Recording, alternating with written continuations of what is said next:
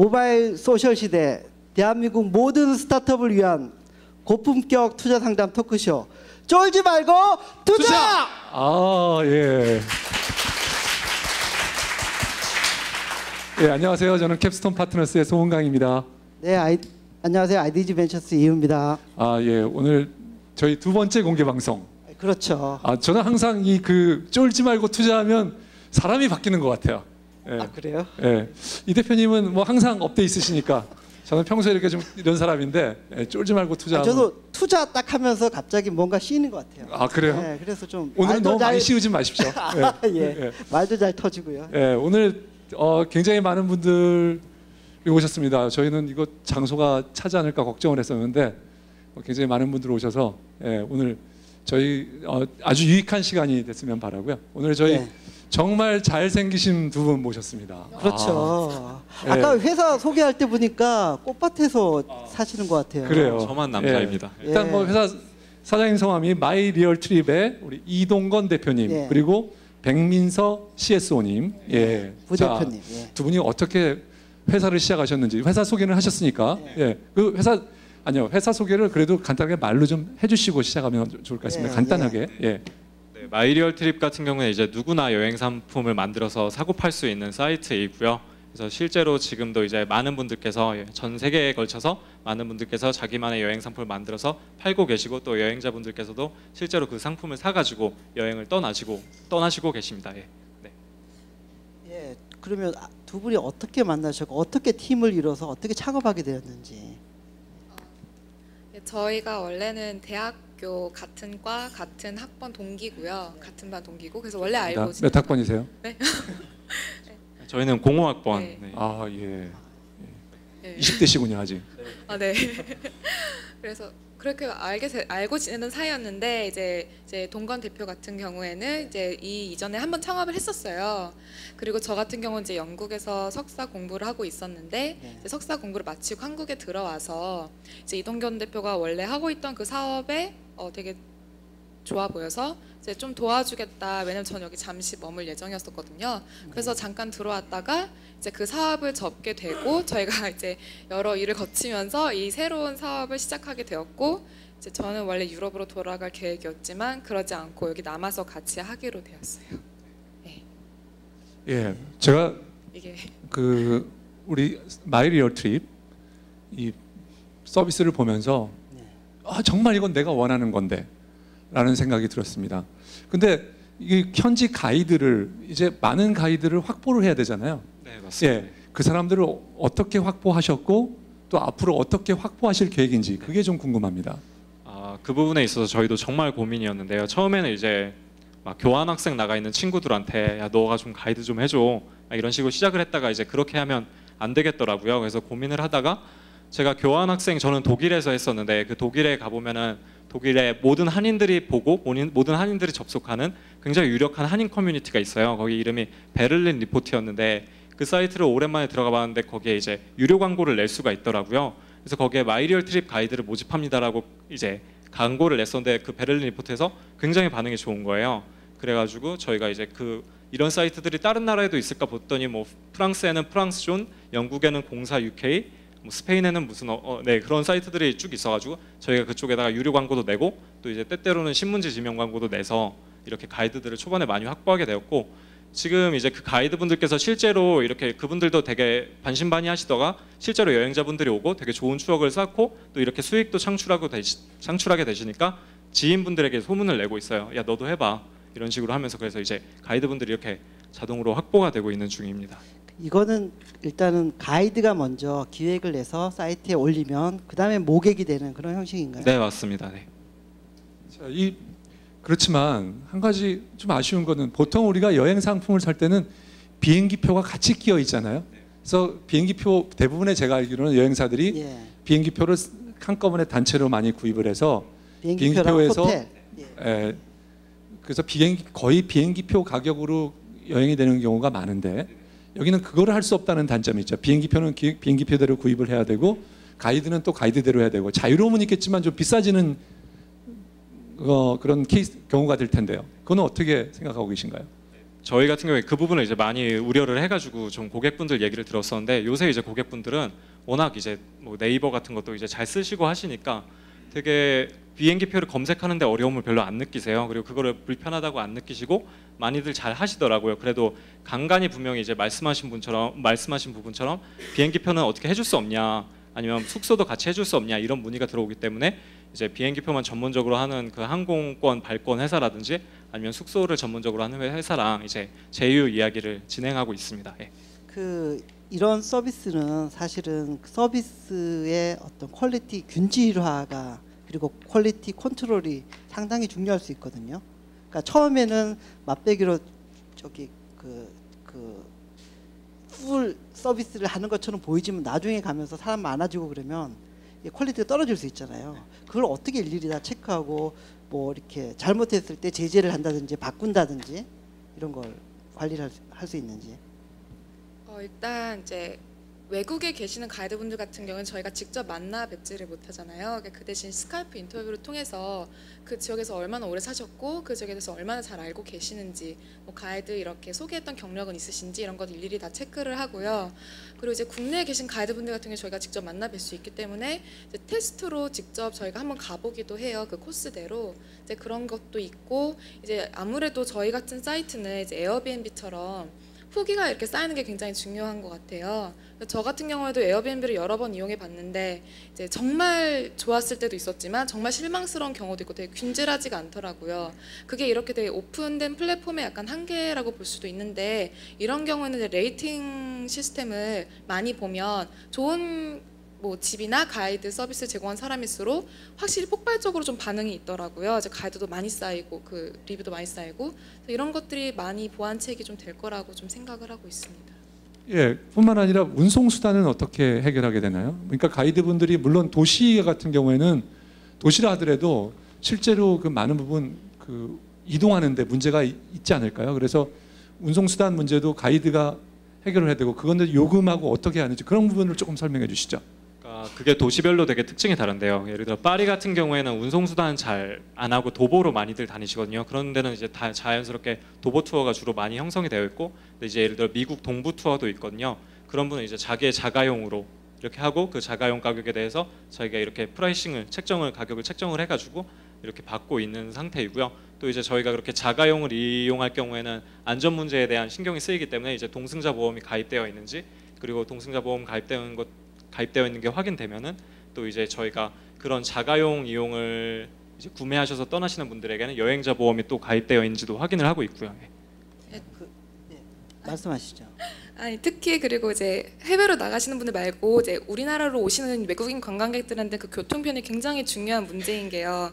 지방으로 가고 싶어도 지방에 갔을 때 일단 언어가 안 되시고 어떻게 내려가야 되는지도 모르고 일단 내려서는 왜 저희 나라 사람들도 그러니까 우리나라 사람들도 경주나 뭐 이런 데 가면 이렇게 자기 자가용 끌고 가지 않으면 이게 움직이기 되게 불편하잖아요. 그래서 되게 중요한 이슈인데 이제 그런 경우에는 이제 지방에 살고 계신 분들 중에서 자가용 갖고 계시고 그걸로 이제 직접 돌아다닐 수 있고 또 원한다면 자기 집에서 홈스테이를 해도 된다 이런 분들이 지방 분들 중에서 좀 많으셔서 좀 커버가 되고 있습니다. 그 수익 모델에서요. 그 여행 그 비용의 20% 정도를 받는 걸로 되어 있는데 네.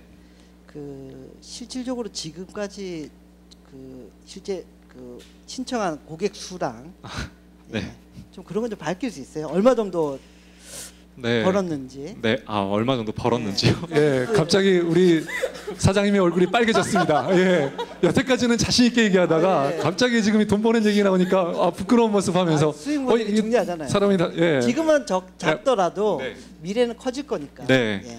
그래서 저희 같은 경우에는 이제 사이트를 4월 20일에 런칭했지만 7월 2일까지는 다 지인 위주의 구매였고 지인의 지인이나 지인들이 구매했다가 7월 2일 날 드디어 생전 저희가 모르는 분이 사셨어요. 예. 아 네. 그렇군요. 예. 3개월 만에. 네. 네. 그분이 예. 이제 사, 사시기 시작했고 그게 이제 시작이 되어서 지금 계속 한 하루에 평균적으로 이제 과장 안 하고 그냥 두세 건 정도 계속 들어오고 있고요. 근데 이제 네, 두세 건 두세 건. 정도 들어오는데 그분들께서 또 이제 혼자 신청하지 않고 동료나 지인들이 있기 때문에 네. 그분들이 이제 세네 명씩 이렇게 한두 명, 세네 명씩 이렇게 신청을 하시는 경우가 많고 지금까지 누적으로 약간 건으로 치면 70건 정도가 좀 넘고요. 그리고 이제 명수로 치면 네, 명수로 치면 약간 100명 정도. 지인 포함해서 100명. 아니요 지인, 지인 빼고. 네, 네. 아 예. 네. 예, 알겠습니다. 자, 근데요. 그러니까- 그, 자, 이, 이 가이드가 일정을 정해 놓나요? 내가 이, 이날부터 이날까지 할 수 있다든가 또는 여기서부터 그 일정 문제는 어떻게 되나요? 네, 기본적으로 가이드들이 이제 어, 자기가 언제 괜찮은지 써놔요. 나는 매주 일요일, 예. 나는 매주 수요일, 일요일, 혹은 나는 7월, 8월, 9월 그리고 11월 뭐 이런 식으로 자유롭게 쓰실 수 있거든요. 그래가지고 이제 여행자분들께서 그게 이제 겹치면은 예약 버튼을 눌러가지고 예약 버튼을 누르게 되면 이제 가이드한테 그날이 맞게 되는지 저희가 문의하게 되거든요. 그래서 이제 둘 다 오케이가 되면 여행을 떠나게 되는 거죠. 그런 것도 있어요. 이렇게 약간 소셜적인 요소를 도입해서 저는 이런 지방에 이런 투어를 가고 싶어요라고 고객들이 막 올리면 가이드를 물색을 해주셔서 이렇게 연결해주는 매칭해주는 그런. 네, 안 그래도 이제 고객분들께서도 저희가 지금 이때까지 진행했는데 한 분, 그러니까 정말 그 코스 그대로 가려는 분들은 거의 없고요. 다 자기 입맛에 맞춰서 나 이거 좀 바꿨으면 좋겠다. 아니면 이런 투어 있냐? 나는 파리 갈 건데 이 코스 말고 이 가야 되는데 다른 걸 받고 싶다. 이런 분들 굉장히 많으세요. 그래서 저희가 지금 준비하고 있는 서비스가 맞춤형 여행 서비스거든요. 그래서 가이드의 프로필이랑 이제 자기가 원하는 지역을 선택하면 그 지역에서 이제 활동하시는 가이드분들이 프로필이 나오고 내가 이 사람이 좋다 끌린다 그럼 이 사람한테 내가 이런 이런 여행을 하고 싶은데 어떻겠냐라고 물어보면은 할 수 있는 그런 여행을 준비 중입니다. 자, 그 가이드 중에 제가 좀 좀더 예, 가이드 중에 전문 가이드와 아마추어 가이드하고 비율이 어떻게 되는지 어, 좀 궁금하네요. 지금까지는 전문 가이드 분이 약 30에서 40% 되는 것 같고요. 아마추어 가이드 분들이 6에서 70% 되는 것 같은데 잠깐만요. 네. 근데 혹시 저도 가이드를 예를 들면 토요일 가이드를 아 그리고 영어가 되는 사람에게 가이드 그 가이드를 내가 해보고 싶다. 네. 그러면 뭐 어떤 과정을 거쳐서 예, 신청하면 되고 어떻게 하면 될까요? 그 이제 홈페이지 상단에 가이드 신청하기라고 돼 있거든요. 거기서 예. 누르시게 되면은 이제 본인에 대한 프로필을 간단하게 작성하고 그 내 여행이 어떻게 될지 내 여행은 무슨 테마고 어디 음. 어디 들릴지 이렇게 작성하는 코너가 있어요. 그거를 끝내고 이제 여행지를 잘 설명할 수 있는 사진과 자기 본인의 프로필을 아 포- 프로필 사진을 업로드하게 되면은 저희가 이제 그거를 검토하고 연락을 드리게 됩니다. 예, 예. 그러면 그 그때 그 제가 받을 가이드 비용 책정을 그냥 가이드 스스로 하는 거예요? 아니면 회사랑 뭐 컨트롤하거나 협의하는 게 있나요? 보통 가이드분께서 직접 설정을 하시는데 저희가 이제 가이드 등록을 하실 때 미리 20%는 수수료로 저희가 공제를 하니까 그걸 감안해서 이제 책정을 하시면 된다고 안내를 드리고 있어요. 예. 근데 이 회사는 굉장히 지금 제가 보니까요. 아까 사, 이 회사를 보니까 사장님이 남자신데 다른 분들이 다 여성분이세요. 그런데 그 비결을 알겠습니다. 사장님이 아 그래요? 저는 아직 모르겠는데요. 잘, 지금도 잘 대화할 때 보면 네. 사장님이 자기가 얘기할 건 얘기하고 여성분이 얘기할 거는 다 그렇게 아, 손으로 딱 신호를 주세요. 그러면 자, 잘 몰라서 아 그런 거예요? 아 그런 거였습니까? 참 몰라서. 아 근데 아. 사실은 다 여자고 남자가 한명껴 있으면 남자가 너무 힘들지 않아요? 아 그게 저도 잘 몰랐는데 그런 걱정을 잠깐만요. 이 대표님 뭐 네. 집에서 힘드신가요? 아 저도 딸, 딸 둘의 와이프 어 힘듭니다. 예. 다들 막 부럽다 어떻게 이렇게 여자들 많은 조직에서 그렇게 얘기, 일을 하면 어, 그런 행운이 어딨냐 그렇게 말을 하는데 네. 저는 이제 개인적으로 일할 때 이제 덥잖아요 여름에 그러면 이렇게 약간 누워서 이렇게 손 배 안으로 이렇게 손을 집어넣는 습관이 있거든요 근데 이제 막 예, 아, 저도 비슷한데. 그런 게 이제 무의식 중에 나왔다가 이제 막 이렇게 아, 건너편에서 일하고 있는 지- 팀원이 이렇게 탁 쳐다보면 이제 아막 불편한 면이 좀 있죠 예, 보통 이제 20대에서 30대 초반 정도까지는 부러워하는데요. 40대, 50대를 넘어가면 굉장히 힘든 걸 다 이해하죠. 예, 보통은.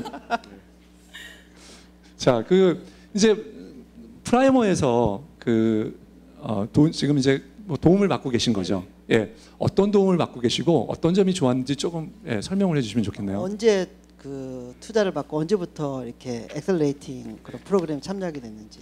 저희 같은 경우에는 이제 민서 부대표랑 저랑 아 우리 한번 뭔가 해보자 했던 게 11월 15일이었고요. 그리고 이제 그때쯤에 프라이머에서 대학생을 상대로 하는 세미나가 있었어요. 근데 제가 저희가 이제 거기에 네. 참석을 했었는데 쉬는 시간에 이제 저희가 권도균 대표님한테 명함 한 장만 달라고 하면서 점심 식사 한 번만 해, 해주세요. 뭐 이렇게 해가지고 이제 대표님께서 흔쾌히 이제 허락을 해주셔가지고 이제 처음으로 이제 저희가 찾아뵈가지고 막 얘기했던 게 11월 말이었던 것 같아요. 네. 네, 그 다음에 이제 몇 번 더 식사를 하게 되면서 식사를 하거나 이제 커피를 마시게 되면서 이제 서로 이제 뭐 비즈니스 모델에 대한 얘기도 하고 하다가 이제 한번 해봅시다 했던 게 12월 3일이었고 문서화 작업은 12월 8일에 끝나서 8일 날 이제 그요그 내용은 멘토링과 초기 투자. 예. 아, 초스피드로 진행이 되네요. 굉장히 빨리. 그럼 바로 법인 설립을 하시면서 투자를 받으신 거예요? 아 저희 같은 경우에 12월 8일에 그렇게 이제 되고 나서 아, 바로 법인 설립이 되진 않았고요. 법인 설립에 앞서서 저희가 또 이제 먼저 해야 될 것들이 많았기 때문에 법인 설립은 2월 16일에 했었고요. 네. 그 사이 기간 동안은 이제 프라이머에서 마치 법인 카드를 줘가지고 네 거기 그 금액으로 썼다가 나중에 이제 자본금 들어올 때 이렇게 까는 형식으로 해. 자, 그 두 분이서 지금 이제 많은 분한네 명이서 다섯 명이서 하고 계신데요. 이 하는 일의 분업은 어떻게 하고 계세요? 우리 다른 분들하고 업무 분장은 어떻게 하고 계세요?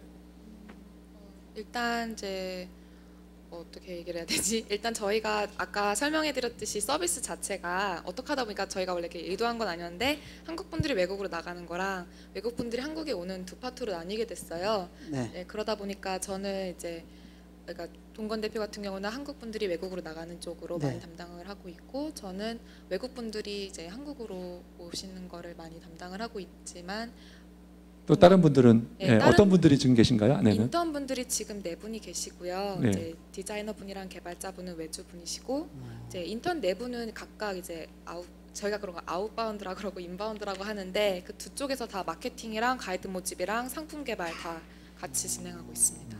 그 일단은 뭐 올해 지금 시작해가지고 본격적으로 이제 그 매출을 만들어 가고 있는 중인데요. 내년 후년 정도 매출 사이즈가 어느 정도까지 커질 수 있을 것인지.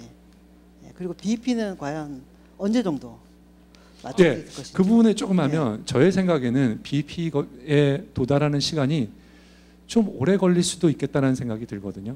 아무래도 여행지도 많고 또 여행이라고 하는 것이 아그뭐 여러 가지 상, 지금 있는 기존의 여행하고 또 그 경쟁도 해야 되는 거고요. 그리고 가이드가 정말로 제대로 제대로 된 가이드들이 모집할 수 있을 건가 하는 문제도 있고 그 와중에 또 만약에 사고라도 하나 나서 이게 조금 그 과장, 과장이 되거나 좀 약간의 그런 게 되면 회사에도 예. 치명적인 피해가 올 것 같고요. 그런 문제까지 생각하셔서 예, 어떻게 될 것 같으신지 조금 예측을 해주죠. 물론 뭐 장밋빛으로 그려둘 수도 예, 뭐 어, 저희는 이제 장밋빛이라고 할 수도 있겠지만 BEP는 개인적으로 아 저희 팀끼리는 이제 올해 말에 맞출 수 있을 것으로 보고 있고요. 아 그래요. 네, 월 얼마 정도 쓰세요? 저희가 잘 안 씁니다. 예. 잘안 쓰는데 예, 저희가 잘 안 쓰는 회사 많이 봤습니다. 한월 500? 예, 여러 개 봤는데요.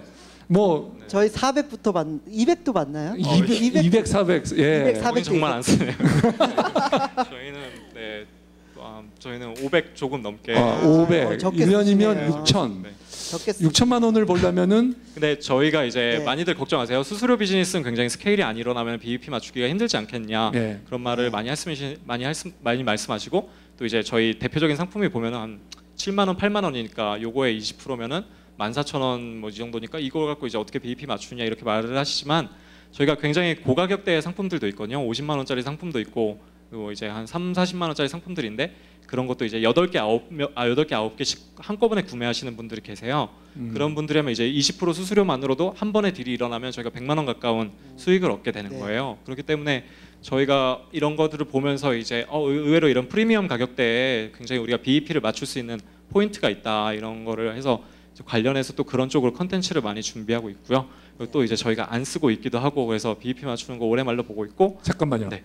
근데 만약 가이드가 한 상품에 대해서 아, 이게 한 명일 때는 뭐 예를 들면 20만 원인데 두 명이 되면 40만 원, 세 명이 되면 60만 원 이렇게 되는 건가요? 어떻게 그거는 어떻게 정해져요, 룰이? 그게 이제 가이드 분들께서 스스로 결정하시는 건데요. 그렇게 룰을 결정하시는 분도 있고 그냥 일괄적으로 한 명이면 4만 원, 두 명이면 8만 원, 세 명이 12만 원 이렇게 하시는 분도 계시고요.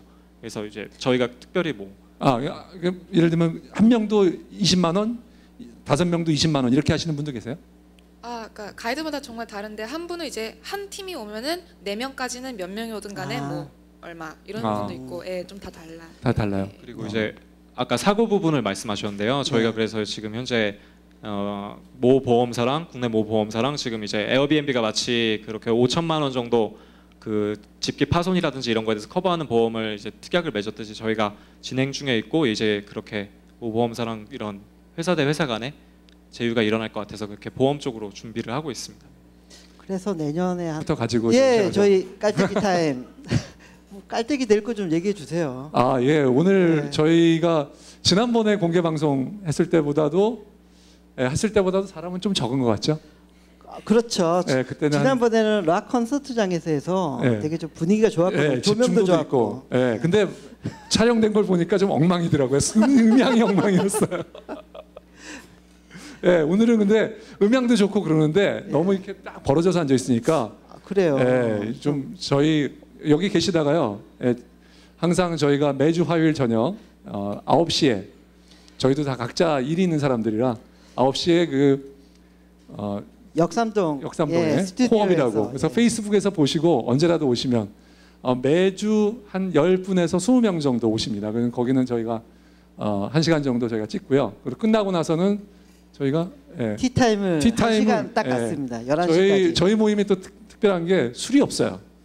예, 기껏해야 와인에이드 정도. 예. 그래서 음료하고 그다음에 와플 정도를 그렇죠. 마시고 그래서 다 살찌라고 살찌는 음식인데. 저희 자비로 해결을 하고요. 예. 그 그리고 그 자리에서 한 수명 정도 모이는데 그 자리에서 한 주간의 IT 업계 뭐 VC 업계 핫한 뉴스들은 다 오갑니다. 그래서 정보도 빨리 캐치할 수 다는 있고요. 아니죠. 솔직하게 얘기합시다. 네, 다는 아니고요. 아주 일부. 예, 뭐 상당한 얘기는 저희가 예. 정보를 빨리 캐치할 수 있습니다. 예, 예. 많이 참관해 주십시오. 예. 아, 예. 아 그리고 저희가 곧 1년이 되죠. 예, 지금 예. 40회를 넘었습니다. 하여튼 저희 예. 어, 그 쫄투를 애청해 주시고 보지, 어, 계속 청취해 주시는 분들께 다시 한번 이 자리를 빌어서 진심으로 감사드립니다. 네, 감사드립니다. 예. 예, 그 공지해드린 그 사이트로 들어온 질문 말씀드리겠습니다. 예, 개별 여행객 대상 현지인과 함께하는 여행에서 현지에서 발생되는 돌발 사고, 즉 안전에 대한 책임 및 대체 방안은 어떻게 진행됩니까? 일곱 분이 추천해 주셨습니다.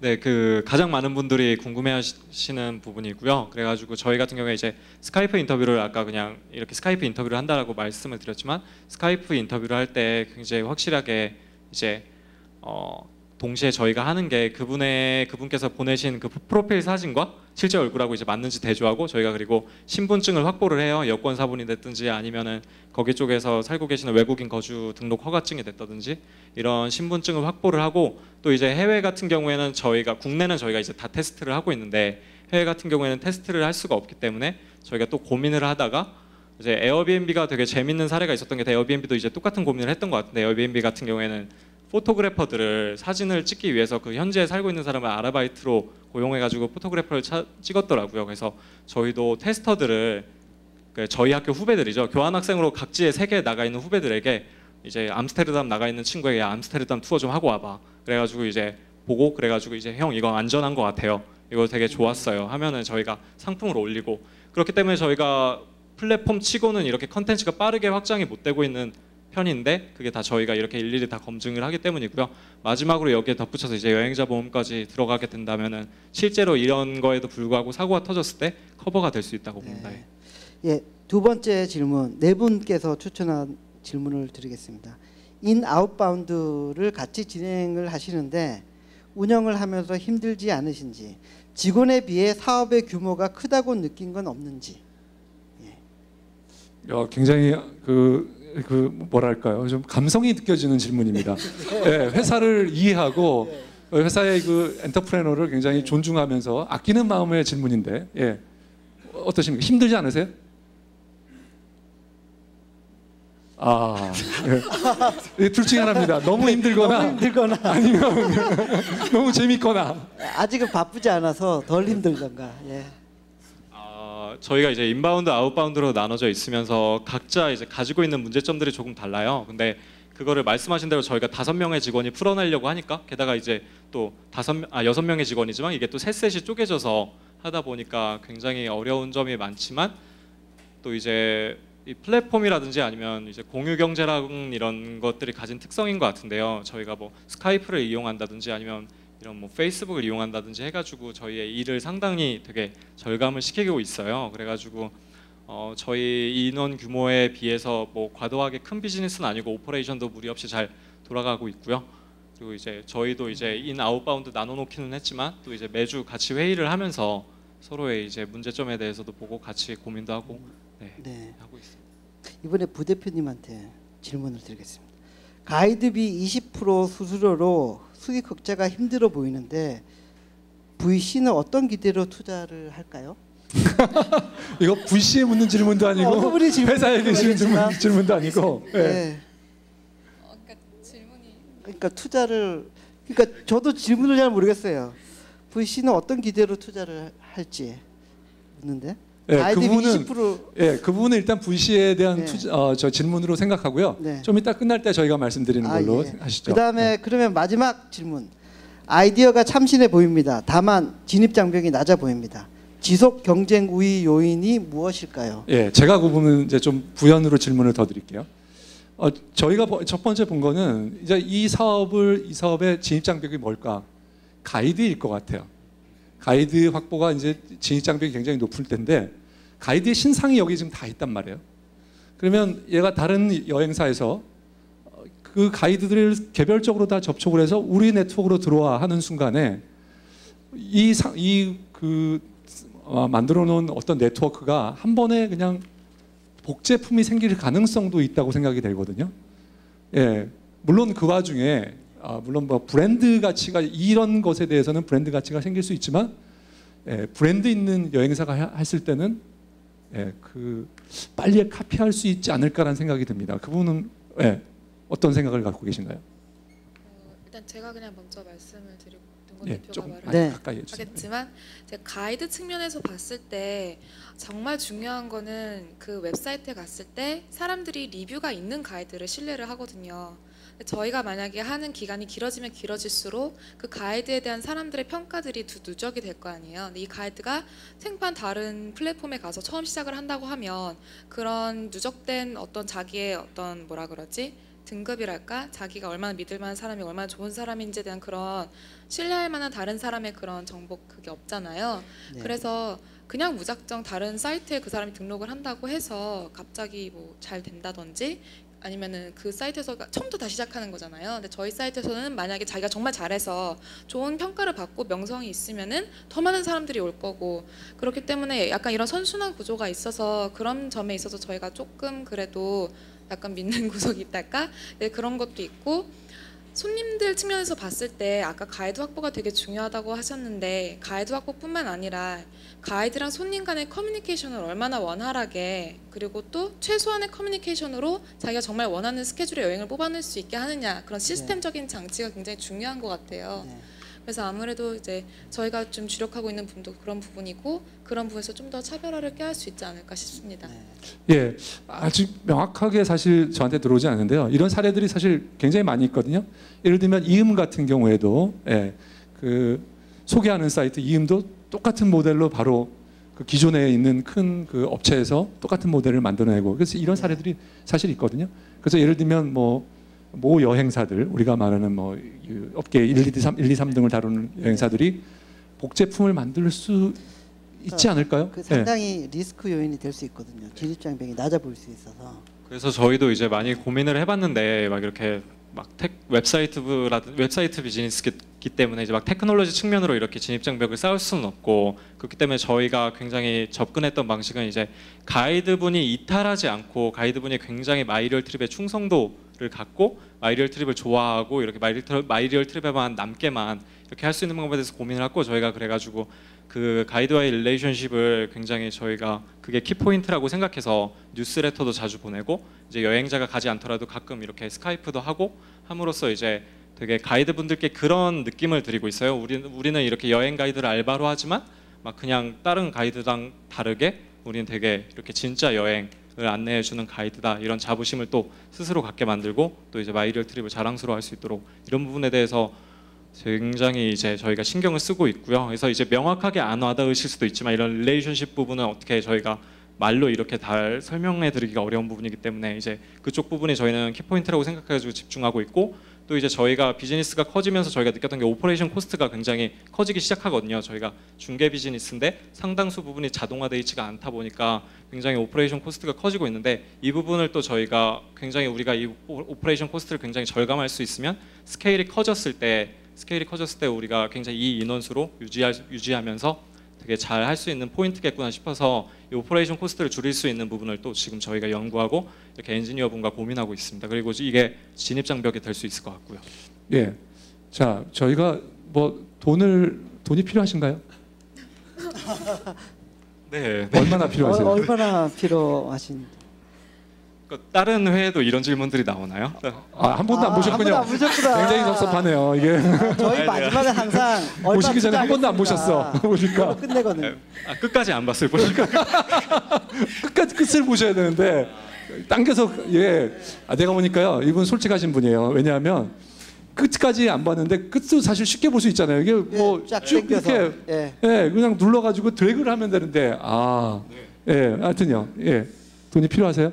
네, 저희 같은 경우에는 이제 돈이 필요한 이유가 저희는 자체적으로 이렇게 cash가 바로 들어오는 비즈니스이기 때문에 이렇게 다른 인터넷 뭐 광고 비즈니스라든지 이런 비즈니스랑 다르게 cash가 바로 들어오기 때문에 이렇게 뭔가 회사를 운영하기 위해서 돈이 필요하다기보다는 왜냐하면 이게 BEP를 맞출 수 있기 때문에 빠르게 이제 스케일을 키워서 치고 나가기 위해서 굉장히 이제 first mover인데 저희가 이거를 이제 이 우위를 계속 유지하기 위해서는 예를 들어 이제 고객들이 더 감동할 수 있도록 고객 콜센터라든지 에어비앤비가 모두 하고 있는 모델이거든요. 고객 콜센터라든지 아니면 보험의 커버리지를 늘린다든지 아니면 약관을 이제 뭐 변호사의 도움을 받아가지고 명확하게 규정한다든지 이런 부분이 아직 매끄럽지 못하기 때문에 이제 투자를 받는다면 그런 부분에 신경을 쓰고 그리고 저희가 이제 방금 디자이너랑 개발자가 외주라고 했는데 외주였던 네. 게 저희가 아직 이 지금 재무 상황에서 월급을 원활하게 지급할 수가 없기 때문에 이런 식으로 되어 있는데 굉장히 근데 되게 업계에서 속, 속칭 말하는 에이스들이거든요. 그래가지고 투자를 받는다면 이분들을 네, 또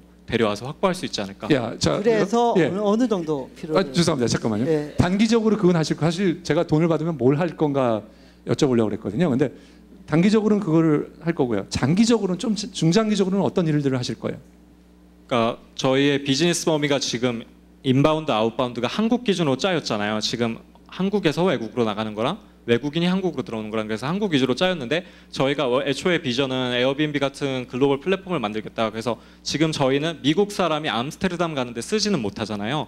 근데 저희가 이제 그 단계까지 확장을 보고 있고 이렇게 투자를 받게 된다면 그런 비즈니스 그 비전을 이룰 수 있도록 예, 인원과 네, 그런 서비스하는 외국 회사들은 아직 없나요? 실리콘밸리나? 아, 샌프란시스코 쪽에 이제 Vayable이라는 스타트업이 있고 그리고 베를린 기반의 Gidsy라는 스타트업이 있고 뉴욕 기반의 이제 SideTour라는 스타트업들이 있는데 다들 이제 그 샌프란시스코, 뉴욕, 베를린을 기반으로 해서 도시들을 넓혀가고 있는데 아직 아시아 쪽을 못 들어오고 있어요. 이제 제가 최근에 확인한 바로 이제 Vayable이 도쿄가 이제 막 생긴 수준인데 아직도 product는 없거든요. 그래서 저희가 굉장히 아시아 쪽에서 그럼 빠르게 치고 들어가면은 뭔가 이제 그런 회사들에 비해서도 경쟁력을 가질 수 있고 이제 Vayable 같은 경우에도 요번에 Y 컴비네이터 데모데이에서 처음 발표를 했거든요. 그래서 아, 이제 원래 비즈니스는 하고 있었지만 demo day에서 정식으로 데뷔를 했는데 이렇게 이쪽 분야는 글로벌로 봐도 이렇게 뛰어난 이제 그런 플레이어가 없기 때문에 네.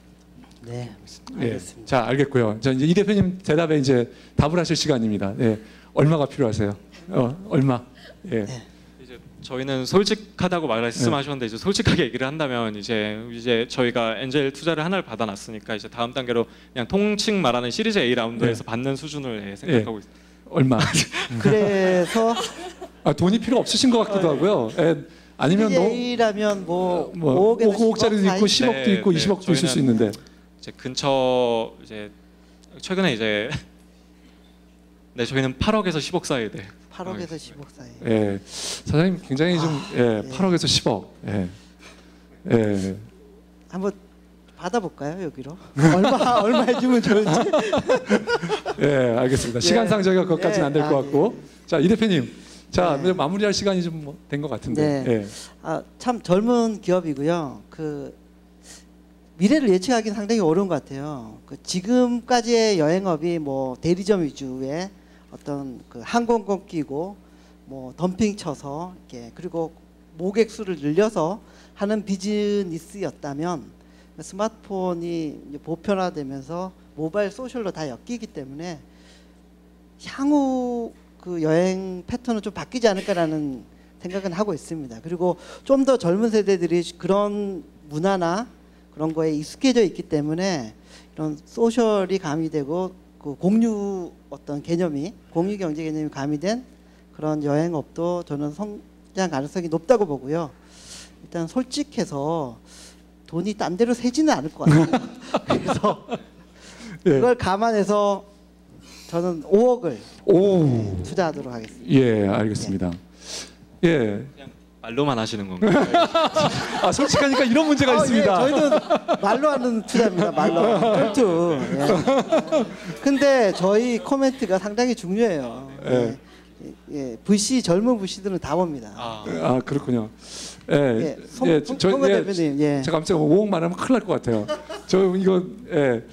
그 일단요. 어 제가 요즘에 그 심사를 좀 많이 나가는데 여행 관련해서 비즈니스를 하겠다는 분들이 너무 너무 많아요. 많긴 하죠. 예, 제가 지- 지난주에도 뭐 모 신문사에서 하는 서류 심사를 이 대표님하고 같이 했는데 예, 거기에 서류에 한 200여 개 중에서 200개 중에서 한 거의 한 15개 정도가 여행 관련한 거였습니다. 그만큼 여행 관련해서 뭔가를 하겠다는 분들이 많이 있는데요. 근데 제가 솔, 솔직하게 오늘 반 게 제일 딱 와닿네요. 감사합니다. 뭔가 이건 좀 어 그 다른 것들은 너무 좀 황당한 얘기들이 좀 많은데요. 근데 서류로만 봤으면 어떻게 될지 모르겠어요. 예, 소- 그 그런- 예, 그런 것 현진이 만드는 무슨 어 뭐 여행 상품 뭐 이렇게 말, 말하면 이게 와닿을까 했는데 어, 정말 이 정말 그 케이스들을 보면서 제2의 에어, 에어비앤비 같은 에어비앤비 같은 그런 그 되지 않을 되지 않을 가능성도 네. 있겠다. 그런데 좀 지금보다는 조금 더 보여주시면 좋겠다는 생각이 들겠습니다. 그래서 저는 지금보다 좀 어, 제대로 된 모습을 예를 들면 아까 말씀하신 첫 분에 말씀하신 거 있죠. 그 사람들 바깥에 있는 사람들 에이스 프로그래머, 에이스 네. 디자이너, 네, 네. 에이스 기획자들을 좀 더 안으로 오- 오고요. 그 다음에 가이드들도 제대로 정말 확보할 수 있는 가이드들이 엄- 전 세계적으로 어느 정도 주요 한 곳에는 그래도 상당수가 좀 확보되고 국내에도 확보되고 그게 어느 정도일지 모르지만 어느 그 정도 확보된다는 것에서 저도 그런 가정하에 그, 그러면 예, 5억 저도 어, 투자할 용의가 있습니다. 예. 네, 감사합니다. 알겠습니다. 10억이네요 합의. 아, 예, 그, 예. 예, 그래서 예, 예. 아무튼 오늘 출연해 주셔서 너무 감사하고요. 고맙습니다. 예, 사업 잘 되길 바라겠습니다. 예, 감사합니다. 고맙습니다.